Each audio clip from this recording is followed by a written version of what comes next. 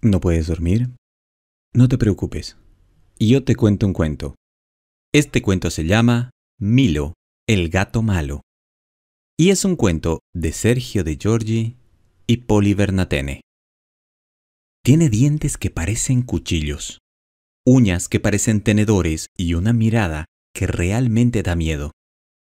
Los ratones corren con solo ver su sombra y los perros, desde los más grandes hasta los más chicos, también. La gente cuando lo ve cruza la vereda de enfrente. Por las noches sale a pasear por los tejados y algunas veces hasta la luna se esconde. Ya todos duermen. Nadie lo está mirando, pero Milo parece estar enojado por algo. Una tarde, remoloneando en la vereda, se desperezó y abrió la boca en un furioso bostezo.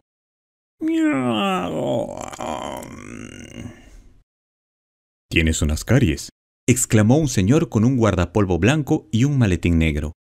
Milo se sorprendió tanto que se quedó quietito mirando todavía con la boca abierta.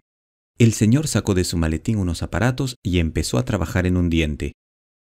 No hay que comer tantos caramelos, y es conveniente lavarse los dientes todos los días. Luego de unos minutos le dijo, ¿Listo? Trabajo terminado. Milo se sentía tan aliviado que no tuvo más remedio que despedirlo con una sonrisa.